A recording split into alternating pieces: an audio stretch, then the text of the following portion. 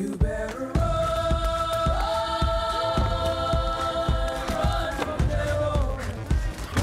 the end of the day, at the end of the day, you better run in some type of direction. Cause the people going nowhere are the ones that are flexing. I'm not trying to be a preacher, I was never a reverend, but I can take your ass to church and show you glimpses of heaven. You better run in some type of direction. Cause the people going nowhere are the ones that are flexing. I'm not trying to be a preacher, I was never